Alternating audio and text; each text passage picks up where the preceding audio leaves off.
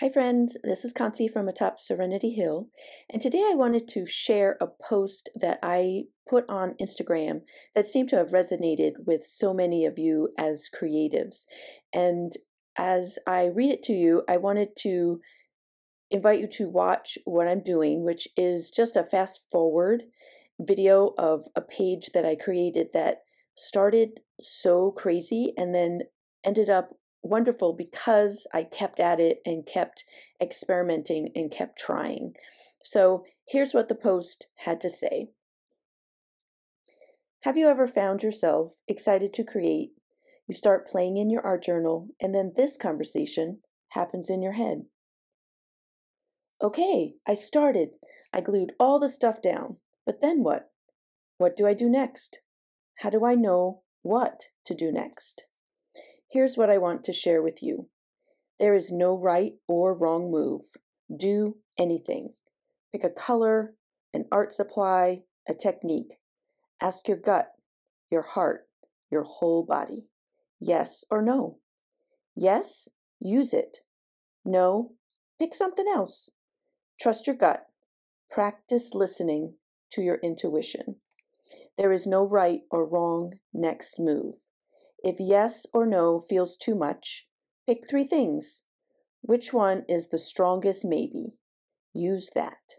It is all an experiment. Use the good and the ugly to show you what to do or not to do next time. Take all the information and try again. There is no right or wrong next move. There is only play, fun, trial and error. There's only the picking up of the paintbrush, the stencil, the collage bit, and putting it on paper. This is not brain surgery, but if you keep doing it, trusting it, delighting in it, it might just save your life. My beautiful creative friends, there is no right or wrong next move. I believe and trust enough for you.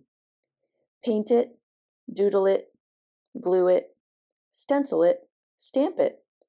Just do something. And most of all, have fun doing it. This post, which I just read, was so powerful for a lot of people, giving them permission to just go for it, to put something down, let it be ugly, let it be the best thing they've ever done. Just an invitation, my friends, to start and just see where it goes. Play, experiment, use that curiosity.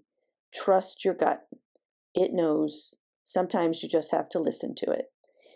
If you want to see this art journal page come together in real time, I will link below the video that it was a part of on YouTube here about seven months ago, where I actually talked through the whole thing so you could see where I was making decisions, where I changed things, how it started one way and ended up in a completely different uh, format. Whatever, you know, it just came out completely different than how it started.